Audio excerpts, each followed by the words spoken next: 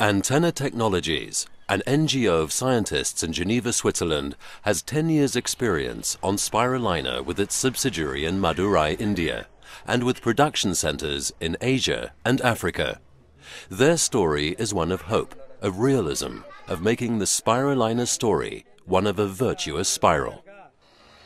We are now in Madurai, a medium-sized town in southern India. This unit with 40 tanks is operated by 15 women. It can produce a total of 4 kilograms of dry spirulina per day. The technology is simple. The basins are made from truck tarpaulins of 6 by 3 meters. The spirulina algae grows in warm water, best in hot climates between 25 and 35 degrees. It is almost microscopic in the form of a spiral. All you need is a tank of water, about 20 centimeters deep, sunlight, heat and a cover.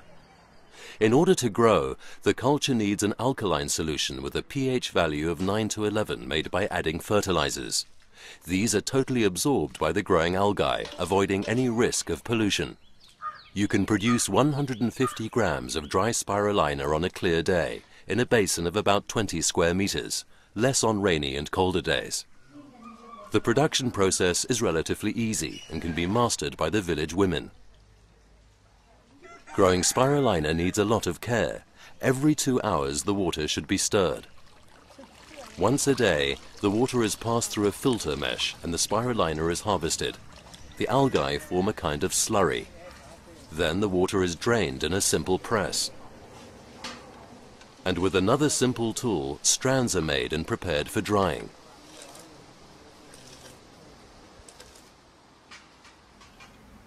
The dried strands are then ground in a mixer and packed. After harvesting, another task is to replace the fertilizer in the tank. How much depends on the weight of the harvested spirulina. The women calculate how much fertilizer they need to add. Because some adults find the smell and deep green color a bit strong, special products have been created to suit them.